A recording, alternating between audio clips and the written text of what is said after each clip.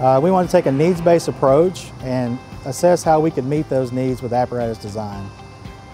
We talked about things such as roundabouts, we talked about the village, we talked about some of our large estate style lots with offset homes.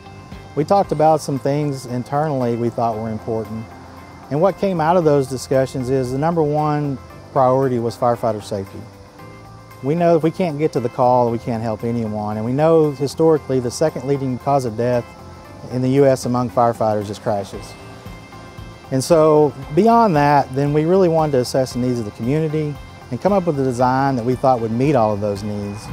We engaged multiple uh, manufacturers, dealers locally, and one of those dealers was Metro Fire, and they are the local dealer for Spartan ER, which is a large fire truck manufacturing company.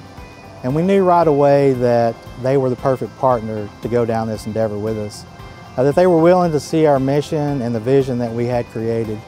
Uh, a few years back, we were able to make some major changes in our response, and we were able to shave about 24 seconds off of our overall response. And what we know in life-threatening situations is time is important.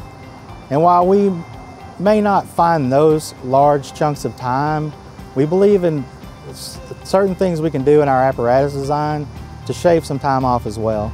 So what we knew was we needed something smaller, a little more nimble, something to meet these needs and providing the safety we were looking for.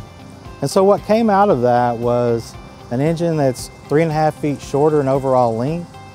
Its wheelbase is 33 inch shorter at 177 inches.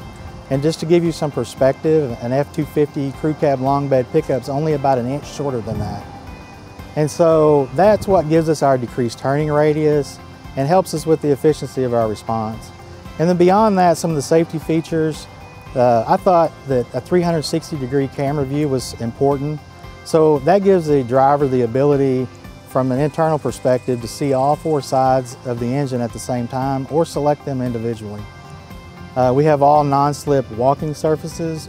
We have additional lighting that improves visibility, full cab impact protection, rollover protection, full curtain airbag protection.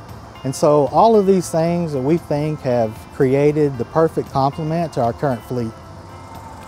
And we think that they give us um, the ability to better serve our community more efficiently and more safely than we were before. I have to give a huge shout out to our design committee. Uh, they were willing to take this assessment and this needs-based approach and think outside the box a little bit, so to speak. And their willingness to do that is a huge reason how we got here today. Uh, I want to thank Metro Fire, Spartan ER. Um, they were absolutely the perfect partner to do this with.